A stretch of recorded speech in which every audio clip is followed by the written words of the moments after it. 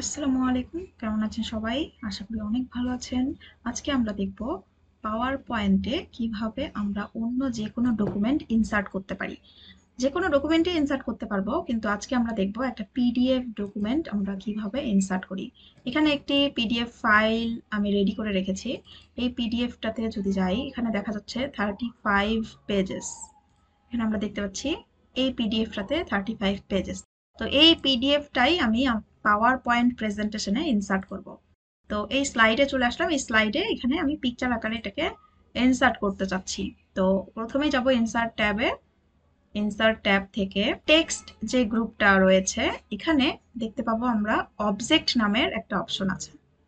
এই অবজেক্টটা অন্য যে কোনো ভার্সন যদি আমরা ইউজ করি, তাহলে অবজেক্টটা সুন্দর মতো লেখা দেখা যাবে যে অবজেক্ট লেখা আছে বড় করে।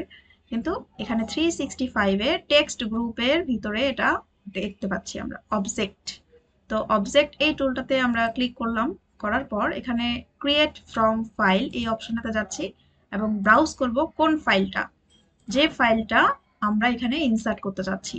তো ডেস্কটপে রেখেছি আমি ফাইলটাকে সিলেক্ট করলাম, করার পর ওকে বাটন প্রেস করে দিচ্ছি। এখন কথা হলো এখানে দুইভাবে আমরা ইনসার্ট করতে পারি। প্রথমত আমরা এটাকে লিঙ্ক আকারে মানে পিডিএফ এর চেহারাটার যে আইকন আইকনটা দেখা যাবে, এরকম করে আমরা ইনসার্ট করতে পারি। সেকেন্ড হলো আমরা এটাকে পিকচার আকারে ইনসার্ট করতে পারি। তো প্রথমে যদি আইকন হিসেবে ইনসার্ট করতে চাই, তাহলে ডিসপ্লে অ্যাজ আইকনে ক্লিক করে দেব। এখান থেকে আমরা চেঞ্জও করতে পারব, এটা চেহারা যদি চেঞ্জ করতে চাই। তারপর ওকে বাটন প্রেস করে দিব। আমরা দেখতে পাচ্ছি এখানে এই আইকনটা চলে আসছে পিডিএফ এর আইকনটা তো এখানে ক্লিক করলেই আমরা সেই পিডিএফ এর ফাইলটাতে চলে যেতে পারব। কিন্তু এটাকে যদি আমরা পিকচার আকারে ইনসার্ট করতে চাই, সেক্ষেত্রে আমাদের করতে হবে কি অবজেক্টে যাব। অবজেক্টে গিয়ে ক্রিয়েট ফ্রম ফাইলে যাব, তারপর ব্রাউজ ব্রাউজ থেকে আমরা যে ফাইলটাকে নিতে চাচ্ছি, এটাকে সিলেক্ট করার পর ওকে বাটন প্রেস করে দিলাম।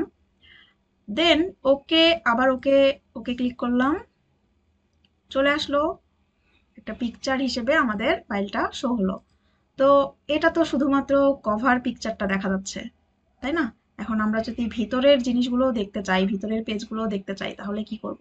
সেক্ষেত্রে আমরা জাস্ট এখানে যদি ডাবল ক্লিক করি, তাহলে আমাদের সেই পিডিএফ ফাইলটা অন হয়ে যাবে। দেখতে পাচ্ছি থার্টি ফাইভ সো এটা একটা খুবই সুন্দর অপশন যেটা আমরা পাওয়ার পয়েন্টে যে কোনো পিডিএফকেই ইনসার্ট করতে পারছি শো অফ করে রাখতে পারছি, যে এটা কোন ফাইল সেটাকেও আমরা প্রেজেন্ট করে রাখতে পারছি।